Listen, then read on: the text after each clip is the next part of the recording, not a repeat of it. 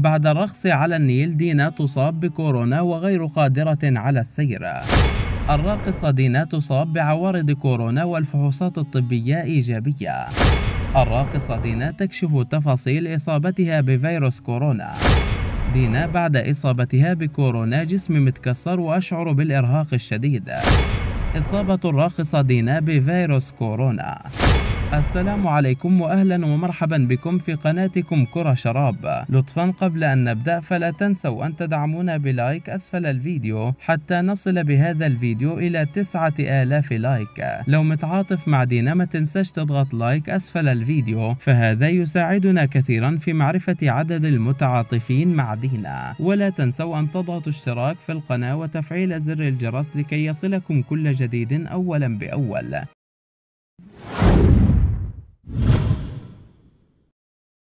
دينا بعد إصابتها بكورونا جسمي متكسر وأشعر بالإرهاق الشديد.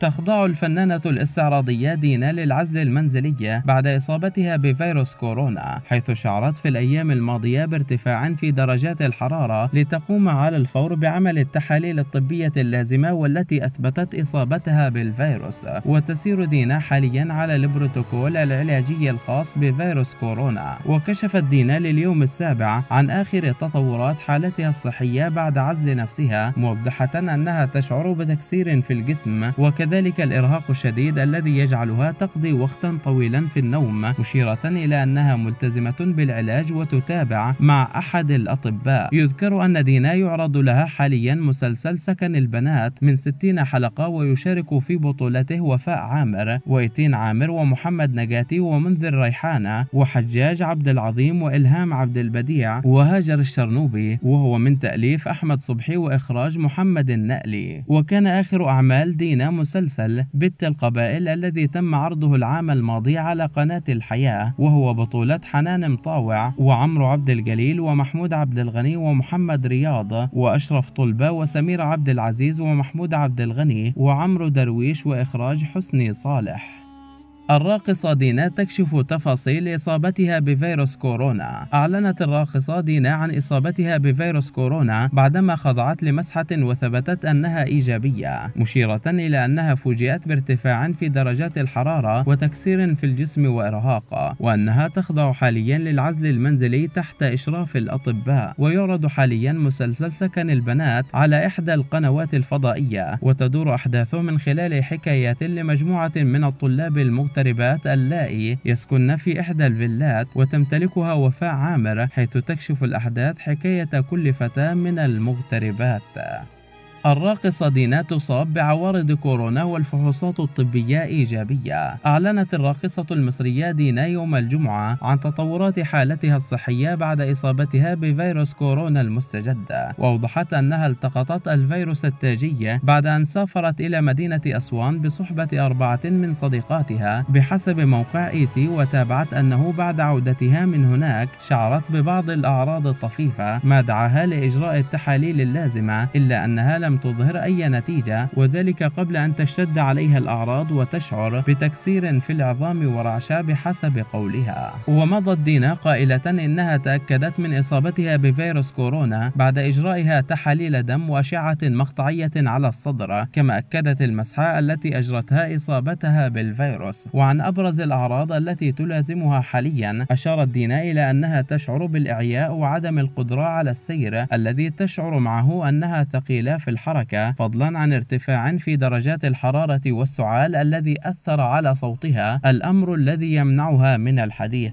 وأكدت أنها تلزم الفراش حاليا وتلتزم بالعزل المنزلي وبتعليمات الطبيب حتى تمر أزمتها على خير خاصة وأن حالتها لا تتطلب الذهاب إلى المستشفى. وشددت دينا أنها لن تستهين بعد شفائها من فيروس كورونا المستجد لأن إصابتها تسببت في ألمها نفسيا وجسديا موضحة أن فيروس كورونا المستجد يؤثر على أعضاء الجسم بشكل سلبي إذا لم يتم علاجه بشكل صحيح. يشار إلى أن دينا أثارت الجدل مؤخرا بعد نشرها لفيديو نشرته عبر حسابها على مواقع التواصل الاجتماعي وتظهر فيه وهي تؤدي رقصة على ضفاف النيل. وأضافت أنها تحمست للفكرة بهدف تنشيط السياحة في الأقصر وأسوان خاصة أن حسابها الرسمي يتابعه عدد كبير من مختلف الجنسيات العربية والأجنبية.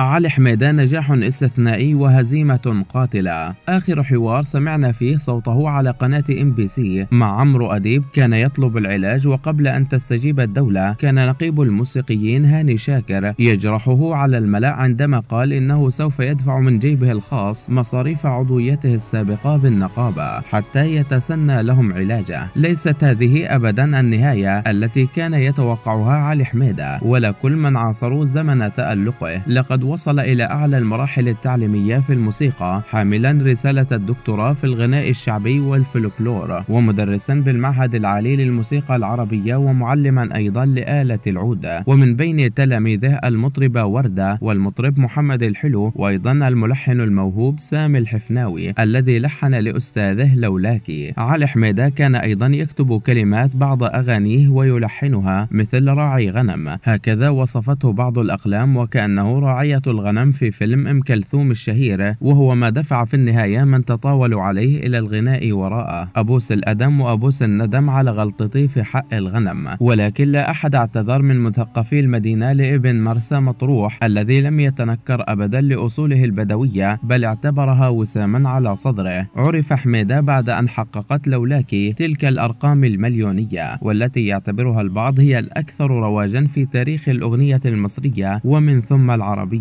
لا أتصور أنه باليقين الأكثر ولكن كحد أدنى المؤكد أنه من بين الأكثر رواجا في الزمن المعاصر. لدينا في التاريخ تخطوقة أم كلثوم له تلوعني وأغنيات أحمد عدوية السح الدحم بو والثلاثي المرح العتبة جزازة وعيد الشعر الطشت ألي وحمدي باتشان الأستوك وشعبان عبد الرحيم بكره إسرائيل وحسن شاكوش بنت الجيران وغيرها. اعرف وصية الفنان علي حميدة قبل وفاته وسر آخر كلماته. تابعت عدسة اليوم السابع في بث مباشر. والآن أعزائي المشاهدين أعتقد أننا وصلنا إلى نهاية الحلقة. ولكن قبل أن أنهي حديثي سأطرح عليكم سؤالا وأتمنى منكم المشاركة بآرائكم في التعليقات. ما هو سبب إصابة الراقصة دينا بفيروس كورونا؟ لا تنسوا أن تشاركوا بآرائكم في التعليقات. ولا تنسوا أن تضغطوا لايك أسفل الفيديو. الفيديو من أجل دعمنا وفي النهاية أتمنى منكم الاشتراك في القناة وتفعيل زر الجرس لكي يصلكم كل جديد أولا بأول. وقبل أن ننهي الفيديو كالعادة لا تنسوا الصلاة على النبي.